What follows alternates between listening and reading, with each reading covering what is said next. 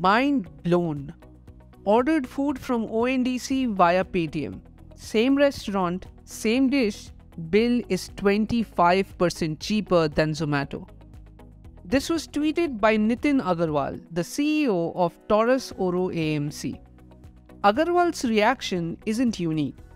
Food aggregator platforms Swiggy and Zomato are facing stiff competition from government backed non profit platform Open Network for Digital Commerce or ONDC, which is offering users cheaper prices for the same food items.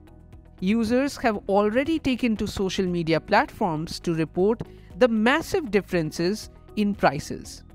The price difference did not count, however, for the discount coupons offered by Swiggy on the baseline prices of food items. Applying these discount coupons narrows the gap in prices. But the coupons are not available for all restaurants. The online food delivery space is currently a settled duopoly. Zomato is the top player in the market with a 56% share, while Swiggy commands a 44% share. This is as of quarter 4 of FY23, according to analysts at HSBC. The current market leaders reportedly charge higher commissions of around 20 to 25%. Commissions on ONDC, on the other hand, are much lower at around 3 to 5%. But how is ONDC able to provide the same items at almost half the price? What's giving this platform the pricing power? ONDC was put in place by the government sort of replicate what NPCI, the National Payments Council of India, did with the mobile or the payments ecosystem, with the UPI. So I think fundamentally it's meant to be a disruptor. The fact that, unlike some of the other players, they can actually play around with their margins. They're actually set up as a not for profit.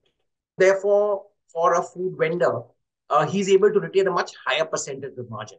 We all know that food vendors, in a manner of speaking, are held hostage by the big players like Swiggy and Zomato. I think what ONDC is hoping to do is actually go directly to the restaurant and really reduce the margins dramatically. So therefore, consumers get the benefit of that lower pricing, and therefore we're seeing a lot of these, uh, you know, these kind of big differences in price between what a consumer buys off the ONDC platform versus, let's say, what he gets from a private uh, e- uh, marketplace. ONDC is in its nascent stages. Swiggy and Zomato offer a larger roster of restaurants to choose from. Moreover, restaurant partners on the network deliver orders using their own delivery fleet, which can be slower than traditional food aggregator platforms. ONDC also lacks any app of its own, and customers looking to order food need to do so using either the Paytm or Magic Pin app. The market leaders Zomato and Swiggy, meanwhile, have invested extensively in user experience, tech led innovations, and efficiency drivers, including timely delivery, customer support, etc. On the other hand, ONDC acts as a direct bridge between consumers and sellers, and it is not limited to just food delivery. It can also be used as an e commerce channel to compete with Amazon and Flipkart. Through Magic Pin, ONDC is fulfilling more than 10,000 orders a day. The company had joined the network two weeks ago, scaling from less than 1,000 orders to the current number. So, will ONDC be able to break the duopoly?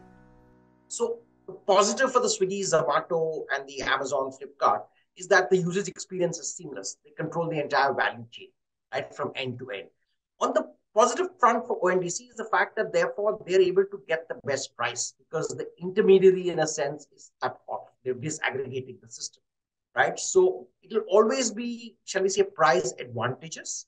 However, whether they're able to replicate uh, the steep learning that the e-commerce platforms have gathered over the years they've been in business, the smoothness of the customer interface, the kind of uh, you know background they have to your purchasing patterns, to the kind of likes that you have, that will take some time.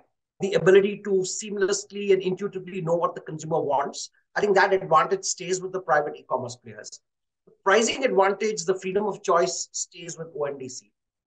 Experts point out that ONDC has been designed to be a disruptor in the e commerce and delivery market space.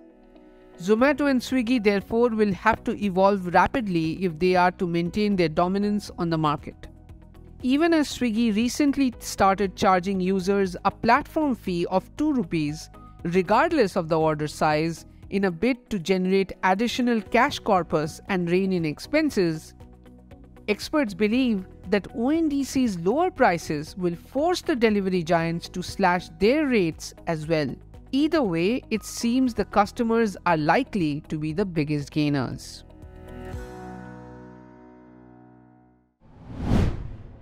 If you like this video, share it and subscribe to Business Standard.